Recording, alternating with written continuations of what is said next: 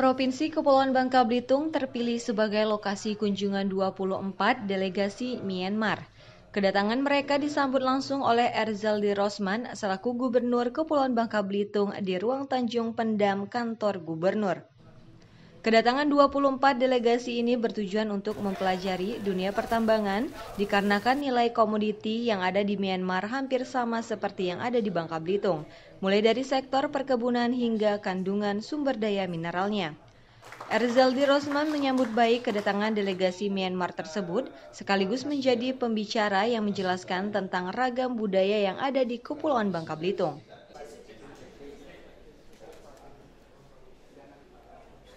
Kemarin mereka ke uh, apa namanya?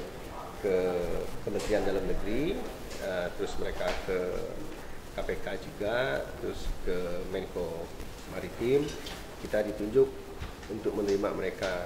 Karena uh, komoditi di samping komoditi yang ada di Myanmar itu uh, sama dengan kita mereka mau juga belajar khususnya aturan-aturan yang ada di negara kita mau mereka implementasikan di Myanmar. Karena mereka ini kan baru peralihan dari pemerintah yang junta militer ke pemerintah yang desentralisasi dan otonomi daerah. Nah, mungkin pemerintah pusat di samping ngelihat saya dulu alumni sama dengan salah satu dari dari mereka, eh, pemerintah pemerintah juga melihat problem yang ada di Bangka Belitung ini sangat pas bagi mereka untuk belajar. Kedatangan 24 delegasi ini dipimpin oleh ketua delegasi yaitu Kian Lat Game selaku Dirjen Pertambangan Sumber Daya Alam dan Pelestarian Lingkungan Myanmar.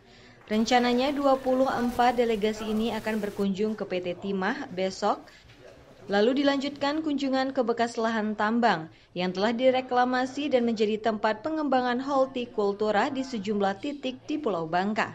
Dari Pangkal Pinang, Septa Rizky mewartakan.